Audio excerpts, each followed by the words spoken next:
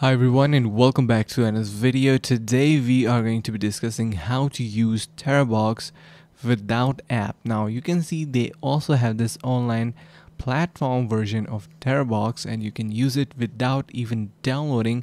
So it is super easy. Now if you want to download anything you can simply put your link in here and once you put your link in here you will be able to see a couple of options like for example play plus download online without login and without app. So we have this option of without app. We are going to be clicking on that. And we do not need to even click on that. It is already a feature that is available without the app. So make sure to give it a try. You can see the generate direct link option and you can put in here your main link and it will be generating your link. So super awesome and something that you should try out. Make sure to head over to this platform terabox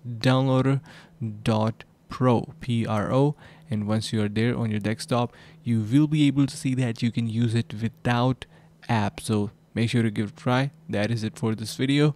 Make sure to subscribe to our channel. Thank you so much for watching and for more videos like these you can head over to our channel. So see you in the next video